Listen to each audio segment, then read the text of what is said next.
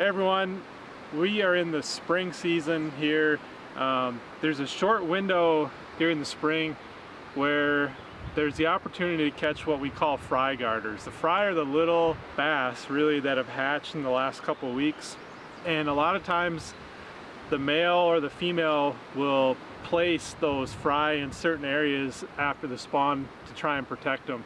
So you'll find those fry a lot of times around like dock posts or lily pad stalks or tree trunks or lay down trees usually something sitting in the water grass beds that those fry will sit around and be protected.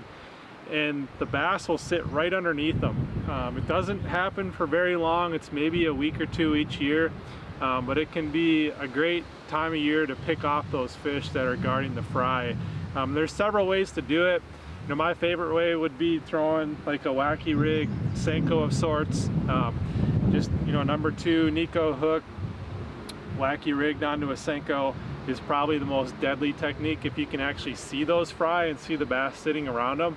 Um, if you're in a situation where you're wanting to cover more water and you know that fry might be present and you just want to try and pick off fish blind cast into those fry, you know, throwing like a frog or a swim jig um, is a really good option too. You can cover more ground with it and you're probably gonna run into more fry uh, balls throughout the day if you're if you're throwing these faster moving baits. But if you get into an area where you're actually seeing the fry and you can slow down and you see the bass below them, your best bet's probably some sort of wacky rig. But spring season transitioning into the, the summer period, you know, some of those fish maybe moved offshore already but those fry guarders can be really vulnerable and, and, it's a fun way to catch them too. It's a lot of visual fishing. All right guys, we got a ball of fry right in front of us here. We're in a little spawning pocket. I'm just gonna show you how I'm gonna attempt to catch them. Got a wacky rig.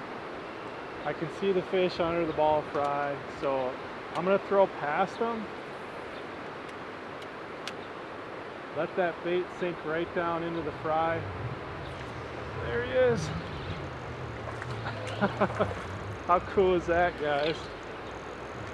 That is textbook fry guarder.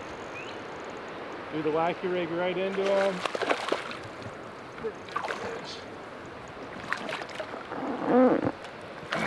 Oh, how about it? Look at that thing. That's a good chunk. Neko hook. Ball fry sitting there. That might be the female sitting underneath them. Big old fish. Textbook fry guarder on the wacky rig. Pretty cool.